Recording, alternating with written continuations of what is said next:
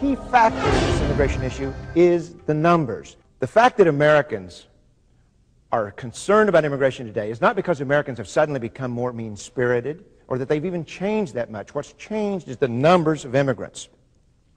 Now, listen to these numbers. In the 40 years prior to 1965, we had an average of 178,000 immigrants per year. Now, I call that the golden era of immigration because I can find no time in history when immigrants were so welcomed, when they assimilated so quickly, or when they did so well. Because we had lower immigration, we had a tighter labor market, which means that we had the pressure on more capital investment, we had pressure for uh, higher productivity and higher wages. And because of that, we became a middle class society during that golden era of immigration. And what's really wonderful about the golden era of immigration is that it's the only time in American history that there was a, a sustained, significant increase in the income of black Americans, and that increase was even faster than the increase for white Americans. Tight labor markets, the best friend that any worker ever had. But in 1965, Congress changed the immigration law and inadvertently sent the numbers skyrocketing. Between 1965 and 1989, we averaged more than 500,000 immigrants a year. Nearly every aspect of American society has changed because of that rapid increase. The polls show us that uh, between 70 and 80 percent of Americans say immigration ought to be cut. And yet, Americans have not really spoken out that much about legal immigration. And I think the reason is, is because most of us have immigrant friends. We don't want to talk about things that would uh, hurt the feelings of our immigrant friends. And we certainly would not want to say anything or do anything that would bring hostility uh, toward the foreign born among us. The polls show that Americans um, believe that immigrants are hardworking, family loving people. They like immigrants. So, what we have right now is a country in which Americans are pro immigrant but anti immigration. I find that people get angry when they see what I'm about to show you. And what I ask people, and I ask you, is if you get angry, don't get angry at immigrants. If you're angry, the place to put your anger is on public officials who have set immigration numbers without regard to their effect on the American people. In the 90s, and let's just take a, one more look at this, immigration is running at more than 800,000 per year. Why are Americans so concerned about immigration today? It's because the numbers have overwhelmed them. I'm about to show you some charts that should be the centerpiece of any discussion on immigration. No congressional action should occur without consulting these charts. In 1970, we had 203 million people in this country. Those people would be represented below this chart.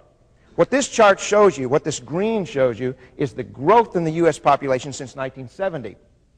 In 1973, the American people moved to a below replacement level fertility. That means that we have, on average, fewer than 2.1 children per woman. At below replacement fertility, we will eventually stabilize our population along with all the rest of the advanced nations of the world. Um, but we still had growth. This is the growth of births over deaths. And the reason is, is that the baby boomers, and I'm at the first of that bulge, we had to move through our childbearing years. So even though we had small families, there were so many of us that we kept growing. Demographers have shown us what will happen to the 1970 stock population uh, throughout the next 50 years. And that is, they took the people who were here in 1970, subtracted the deaths of those people, added their descendants, and subtracted the deaths of their descendants. And they found that this is what will happen.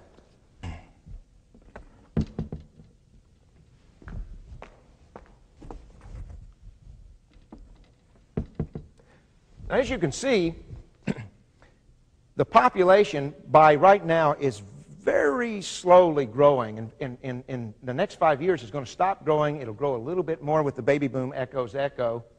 And then it reaches a peak, peak of 247 million in the year 2030. This is not a zero immigration level, however. This is replacement level immigration. That is, Replacement level fertility is when you have the same number of people being born as are dying each year. Replacement level immigration is when you have the same number of people coming in as leave each year. Right now, about 200,000 Americans leave the country permanently each year. This is what the Census Bureau tells us actually happened in the last 20, 25 years. Now, as you can see, our population growth has doubled over what it otherwise would have. This red represents every immigrant who came since 1970, plus their descendants, minus the deaths of both groups. There's been as much population growth from immigration as from the natural growth from the 1970 stock population. Now that has meant that we have had to double all of the additional infrastructure expenditures we've had in this country. We've had to build twice as many schools, twice as many sewage treatment plants. We've had to build twice as many roads and streets. All of the needs of this country have, the additional needs of this country have doubled because of this radical new immigration policy of the United States government. In California, the State Department of Education has found that they have to build a new school every single day of the year in perpetuity as long as the current immigration continues at this level, just to keep up with the children being added by immigration. So what does Congress have in store for us right now?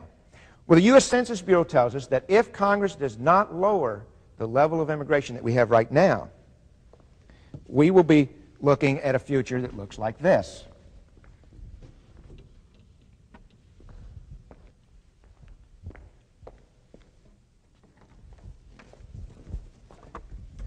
As you can